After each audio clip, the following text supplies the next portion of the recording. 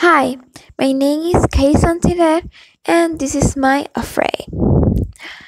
Since I was a little, I developed a fear to darkness.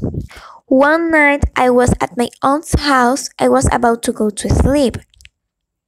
I can't sleep without any light in the room. So I was there all alone and I had to go switch the dining room's lights off.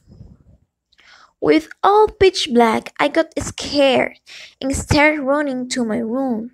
When out, out of nowhere, I hit my pinky toe really bad.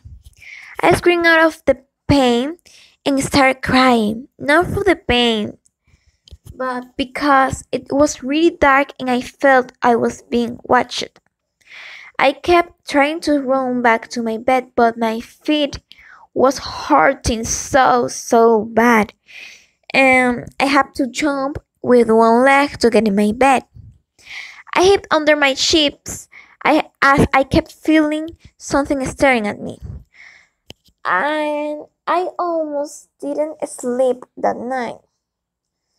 So honestly, I don't think I can get rid of this horrible fear by myself. I think that the help of a professional, that means a psychologist, psychologist, could be the best option to face this phobia that has tormented me since I was a child. And I don't know, I I think it will be the best for me and my feelings.